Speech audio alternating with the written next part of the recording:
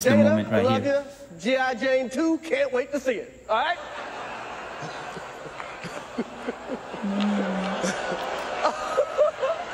Will Smith That was was a laughing nice right one. there. Okay. Uh-oh, Richard.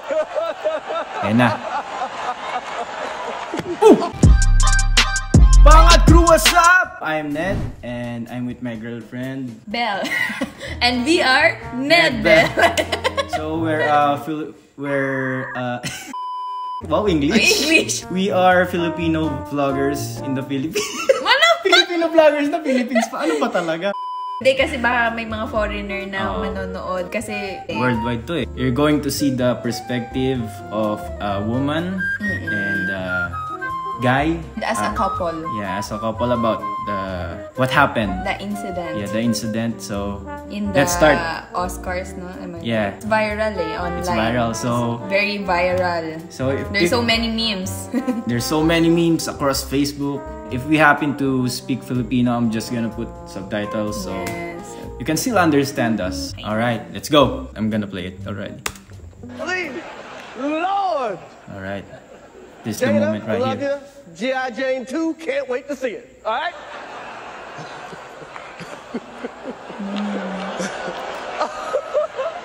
Will Smith was was a laughing nice right one. there. Okay. Oh, English. Tagalogin ko lang. Uh-oh, Richard. Ayan na. oh, wow. Wow. Nakita na namin to ah, napanood na Will. Smith just smacked the shit out of me. Thi- wife's name out your fucking mouth. Wow, dude. Grabe. Yeah. It was a G.I. Jane jump. Keep my wife's name out your fucking mouth. I'm going to, okay? I could, oh, okay. Awkward yan. no? That was a greatest night in the history of television. Okay. So, ayan na. Okay. Yun na yun. Nakita, na, nakita naman na rin nila yan. Oo. At ah, grabe. Ngayon ko lang nakita na ano, kasi pinanood natin ulit eh. Oo. Ngayon ko lang nakita yung reaction ni Smith doon sa ano, na tumatawa talaga siya eh. Oo nga. Tapos, nung pagtingin ko dun sa babae, dun siya parang na-offend. Parang na-offend, no? Oo, na, Parang gumanon eh. na, Gumanon, no? no, na-offend siya na parang umano. So, Tingin um, ko si Wi- Will Smith doon kasi, Babs. Parang ano lang siya eh. Parang nakita niya asawa niya na... na-trigger. na-trigger eh. Oo. Kasi parang tingin ko, syempre magkasama sila sa bahay. Siya yung nakakakita ng hirap ng ano niya eh, nung asawa niya. Syempre, alam naman natin na di biro yung ano eh, sakit niya, eh, alopecia. Kaya siguro na-offend. Oo. Kasi may pinagdadaanan siya tapos na-joke bigla ni Chris Rock na hindi naman alam ni Chris Rock. Oo, Diba? yun na nga. Yun din yung ano, yun din yung parang mali. Kasi, Mm. Um, comedian siya eh. So, parang hindi, wala siyang background dun sa taong yun. And, Baka hindi niya hindi siya nag-aano masyado eh, nag social oo, media, 'di ba? syempre, hindi si, baka hindi nakapag-research Oo. kung ano yung, hindi niya na, ano. hindi niya nakikita yung stories nila Will Smith. Ang akin lang, siguro, um, pwedeng ma-handle yun ng babae. Oo. Kasi asawa niya yun eh. Pwede naman niyang... For example, kasi siya yung ano eh, siya yung tinitira dun sa ano na yun eh, sa joke na yun eh. Siya yung tinitira. Hindi siya yung topic, parang Oh, iba, yung- iba yung tira eh. Ay, parang, oh, hindi. Siya yung topic. Oh, siya, siya yung yung topic parang eh. direct sa kanya. So, pwede naman niyang ano, pagsabihan yung... For example, ako yun ha. Ito lang naman yung... Oh, kunwari sa atin nangyari. Oo, Oh, ito. ito lang yung suggestion ko na parang ma-offend ako. Kung halimbawang may ganun talaga, ma-offend ako. Pero Mm. sasabihin ko sa husband ko na na-offend ako. Ganyan. Tapos pag nakita ko na natumayo yung husband ko na, oo nga, no, parang mali. Siyempre, ma, doon matitrigger din yung asawa na, oo nga, mali pala yung joke noon. So, siyempre, parang maunguna talaga yung galit ng lalaki. Ang gagawin ko, pipigilan kita na kausapin mo na lang siya sa likod. totoo no? Mamaya. Pero Kausap- nagulat ako kasi hindi siya hinawakan. Oo. Bakit? Eh, kasi syempre, baka ano, sobrang offended na nung babae. Na parang, kasi sa ganun situation din minsan, di ba, hindi mo na maiisip na, ano, na parang pigilan yung mga ganung pagkakataon pag galit na galit ka na. Tsaka ano, di ba, nasampal niya na si Chris Rock. Parang hindi niya inano yung, hindi, hindi niya inano si Will Smith na, tama na, kalma ka na. Mm, totoo. Parang ang weird. Pero yun nga, magkakaiba kasi ang tao. Sa bagay, So, oo. kung sa atin, kung sa atin nangyari yun and sa halos kalahatan siguro ng mga couple, ganun Hmm. gagawin nila eh. Napapagsabihan nila yung um, lover nila, lover. Lover. yung husband nila na ano, wag muna, pero kausapin mo na lang siya mamaya na ano after na na-offend ako ganun para makapag-sorry Nadala lang din si Will Smith kasi alam mo yun, pag kunwari, di ba nung bata, pero tumatawa siya eh nung una yun nga, hindi, nung bata, kunwari, kasi ako, kunwari nung bata ako, di ba, kunwari, may inaasar na mahal ko sa buhay, lalo na babae. Kunwari, nanay ko, parang inasar na, "Hmm, mama mo nga, ganito eh. Parang galit ka, di ba, nung bata ka. Parang, sapakin ko to eh. Parang ayun yung nangyari sa moment na yun. Kasi mahal niya yun eh. Parang na-feel niya, kailangan ko defend. oo Nag-react lang siya.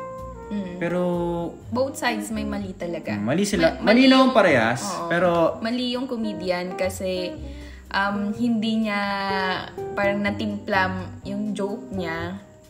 And yun nga kasi parang yung sa mga ganun. Hindi kasi Bob sa States, ang base sa mga ano ko no, napapanood ko sa States. Kasi uso sa kanila yung ano, yung tawag doon, roast. Alam mo yung roast? yes, oo. Kasi ano, parang normal sa kanila na yung as, yung asar na malala, yung minsan personal. Gets, oo. May, may event pa nga yun minsan eh. Dito kasi sa Pilipinas eh, Oo, iba din yung eh. ano, mga comedian eh. Oh, walang ganun kasi dito. Sa Pero doon kasi mga event pa yun mismo yung aas, yung aasar mo yung tao na malala. roast.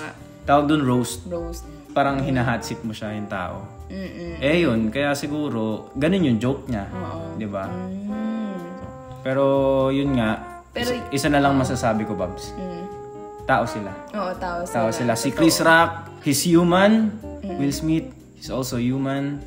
They both made a mistake and uh, pare sila mali. Pero tingin ko naman parang after ilang days na ngayon eh, na ano na nila, na-realize na rin nila sa isa't isa naman. Feeling ko, ganun nga. Oh, and uh, tingin ko mag magkakausap din 'yan, di man ano. Sa pagtagal, 'di ba? Ganun naman eh.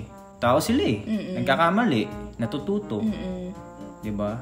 Yun nga lang mahirap kasi ano sila, kilala sila buong mundo eh. Kaya naging worldwide yung Issue. issue na yun eh. Pero ang galing ni Chris Rock kasi tuloy pa rin siya eh. na ano pa rin niya yung situation. Oo, natuloy niya pa rin kasi pag iba yun, baka gumibap na, parang, Parang alis na ako dito, walk out. Di ba? Eh, pero work is work eh. Galing no?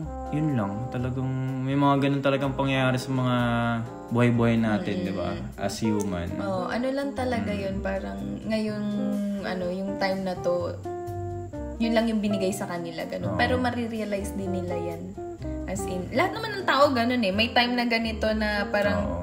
parang papagsisihan mo, ganun. Tapos, next days parang, ay shit, may bakit ko ginawa yun, ganun. Or bakit, bakit nasabi ko yung words na yun, mali pala ako, ganun. So, marirealize din nila yan sa isa't isa.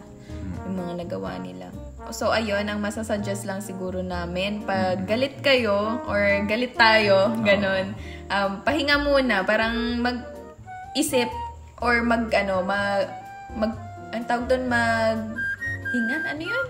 Deep breath, deep yun. breath. Huminga ng 10 seconds, tapos doon ka makakaisip after nun ng ano, ng tamang desisyon na gagawin mo. Kasi kung galit, nasa peak ka, tapos magdi-decision ka kaagad, yun, ako doon magkakadaleche-leche. Pero pag nakahinga ka na, tapos na-calm na yung ano mo nun eh, yung puso at isip mo nun na parang, Mm.